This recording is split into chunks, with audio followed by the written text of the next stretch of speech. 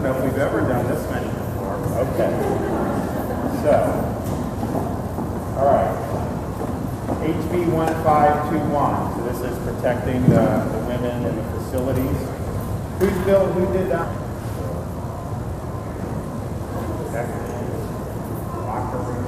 Okay, so we have that, people can express themselves.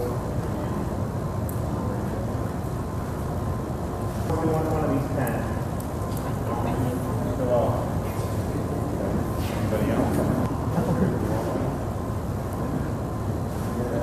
going on?